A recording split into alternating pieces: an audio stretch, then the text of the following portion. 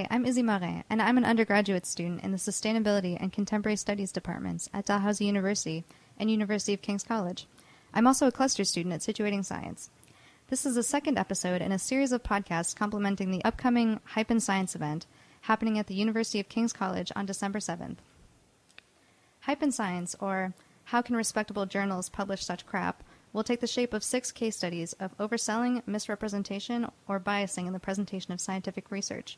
Voices from Harvard, UBC, Elsevier, and Dalhousie will be presenting case studies from their own fields and fueling discussion by casting a critical eye towards the peer review process. The process of the rise of a paper to celebrity status will also be under scrutiny. Is the search for breakthrough papers verging on fetishism? And how will trustworthiness in research be ensured in the context of the current collapse of the peer review system? Today we're talking with Dr. Rosie Redfield of the Zoology Department at UBC. Dr. Redfield is also the head of the Redfield Lab and the author of the RR Research blog, with a special interest in the question of whether or not bacteria have sex. Dr. Redfield's Hype in Science talk, titled The Arsenic Life Debacle, will be centered around the generation of shaky facts due to shoddy methodology by respectable research hubs. She will be using the NASA supported research, which claims that some bacteria can build their DNA with arsenic instead of phosphorus, which is being hotly contested amongst chemists as a case study. So, Dr. Redfield, why is the question of the role of arsenic or phosphorus in the role of bacteria's construction of DNA critical to the field of zoology? It's not critical to zoology per se. It's really critical to our understanding of how all organisms, not just animals, all organisms work. Bacteria. This work was done with bacteria. Um, I think the results were most important not for what they found, but for the fact that what they appeared to show was possible. Because the authors were only looking at one obscure little bacterium and reporting that some of its phosphorus in its DNA had been replaced with arsenic. But the the hype for this arose from how it was presented as a an example of what life could be. This was work funded by NASA's astrobiology initiative and it was its goal was to see could life be constructed out of different chemistry than we have now. And that was why it was considered to be so exciting was because it seemed to show that yes, we could build DNA using a different backbone molecule. So, Dr. Redfield, you're said to be one of the most diligent critics of your own field. Um, could you comment on why this kind of self critique is necessary? I don't do it because it's necessary. I do it more out of a personal sense of outrage that, wait, this is wrong. How could somebody be wrong about this?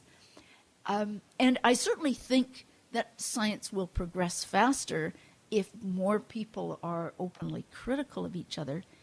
Especially in Canada, we often tend to take kind of a what I call the, the Bambi school of scientific criticism. If you can't say something nice, don't say anything at all. And this is really unfortunate because scientists are wrong a lot. This is, there's a, I just saw a poster. It was like, science, if you aren't getting things wrong, you're not doing it right. That we, we're not just at the frontiers of science, we're at the frontiers of our abilities, and we should be in a position where we're making mistakes. Because if, if we're not risking making mistakes all the time, we're only doing things we already know the answer to. There's no point to that. So we we need to be comfortable about making mistakes. We need to be comfortable about helping others to realize when they've made mistakes because we can't count on ourselves to know that we've made a mistake. Um, are there any biases that can't be addressed through the critique of one's own field? And are there any ways of addressing those biases if they exist?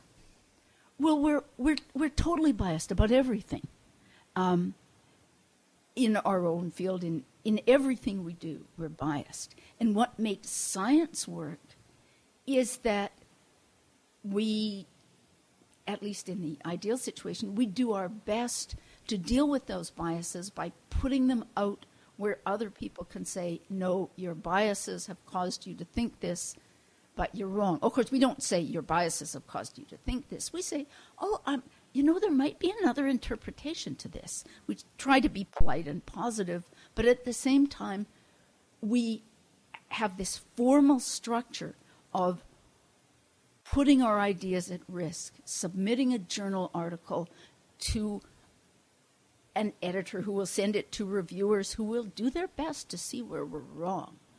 And that's that's the very positive striking thing about science that this negative force of saying that's wrong, that's wrong, that's wrong builds this very positive body of knowledge. But without the constantly hacking away at our biases, exposing our biases to criticism by other people, I mean, we just do things wrong all the time, constantly, and we wouldn't know we were wrong. We certainly try to critique our own work. We take our draft article and we put it away for a week and then we read it again and we go, this is crap. Or, oh, actually, this is pretty good.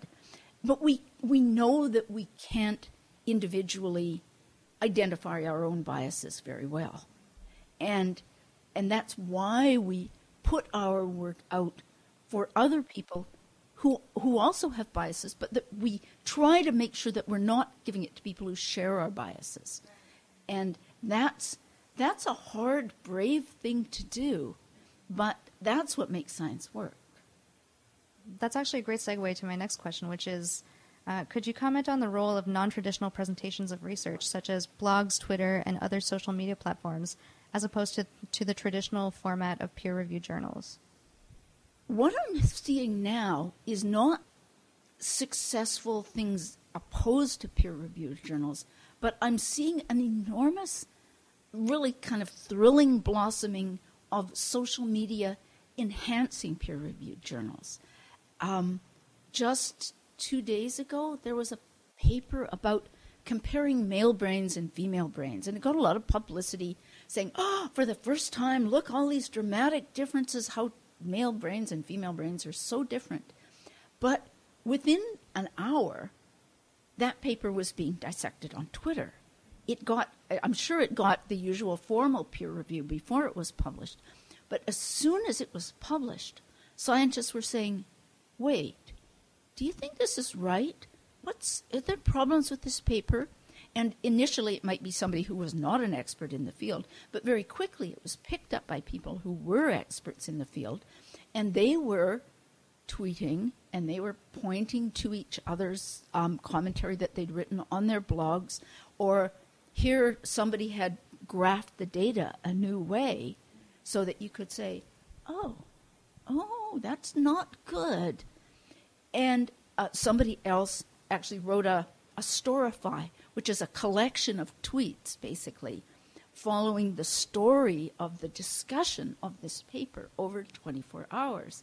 And it was remarkable to see all the understanding that emerged, even among people who already had quite a bit of expertise, that there was this sort of blossoming of, of networking and understanding being built through social media, um, combination of Twitter and blog posts.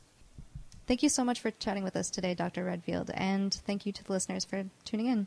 For more information on Situating Science and the Hype in Science event, visit our website at situsci.ca. That's S I T U S C I.ca.